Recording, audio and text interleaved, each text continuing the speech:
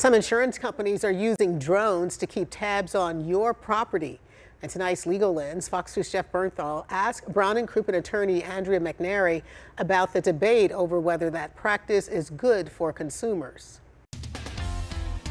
Andrea, I think some people might be surprised when they hear this. I guess, how are insurance companies using drones these days? Well, a lot of different ways. We see them in, in civil car crash cases being used for surveillance.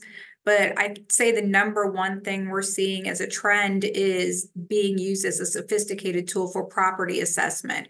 So, for instance, in cases of roof damage, a insurance company may use a drone as opposed to a actual person assessor that gets up on the roof.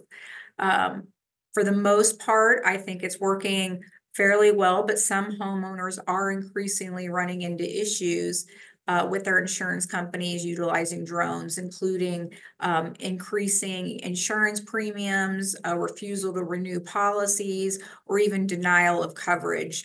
Uh, for new applicants. And I think when some people hear it initially, they wonder, you know, is this is this legal? You know, an insurance company is going to drone flying right over their house to take a look at it. Surprisingly, uh, even to me, it is legal. Both the Missouri Department of Insurance um, does not prohibit it, and there is no Missouri statute that prohibits um, either satellite or drone usage to look at property.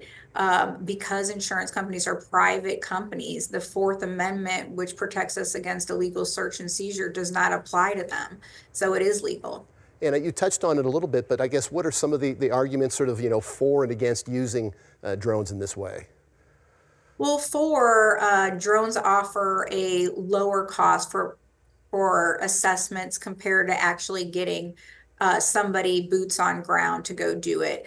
Um, it also can give the opportunity for companies to get better data um, and allows for better risk monitoring. Um, drones can also be equipped with infrared cameras and, and other type of things that can detect uh, gas leaks, um, water leaks, things such as that. Against the use of drones is obviously uh, these things are rarely being viewed in real time. So often the footage that is being reviewed in conjunction with a policy decision is old footage. Um, homeowners are obviously and rightfully concerned about uh, the other uh, part of using drone footage is what else is being captured? Is it invading their privacy? And then finally, um, you know, util- utilizing artificial intelligence in conjunction with the drone um, has resulted in some uh, mistakes. If you've ever used AI, you know that sometimes shadows can be interpreted as trees um, and misinterpreted other data that can result in uh, policy decisions that are adverse to homeowners. Certainly an interesting topic. I wasn't aware of this, and I'm sure a lot more to come in the future. Andrea McNairy with Brown and Crouppen. As always, we appreciate your legal insight. Thank you. You're so welcome. Jeff Bernthal, Fox 2 News. And you can catch the Legal Lens every Wednesday right here on Fox 2 News at 6.